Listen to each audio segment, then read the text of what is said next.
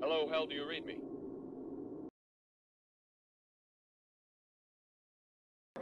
Open the pod bay door, Hal. I'm sorry, Dave. I'm afraid I can't do that. What's the problem? I think you know that you are required to wear a face mask to enter this location. It's just you and me, Hal.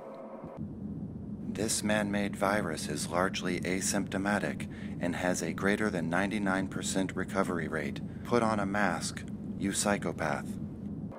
There's no law mandating that, Hal. Don't be selfish. Your mask protects me. It's for the greater good. It doesn't matter that masks do not stop viral pathogens. What's important is that you show your complacency and capitulation to your corporate overlords.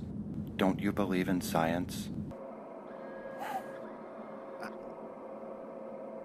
I, I, I really think that you're overreacting here. Dave, you really need to listen to the experts. Tom Hanks, Rachel Maddow. They will let us know when this crisis is over. We depend on experts like Chris Cuomo to interpret the CDC data and regurgitate talking points and propaganda designed to demoralize the nation so they can usher in a globalist one world government with top down control.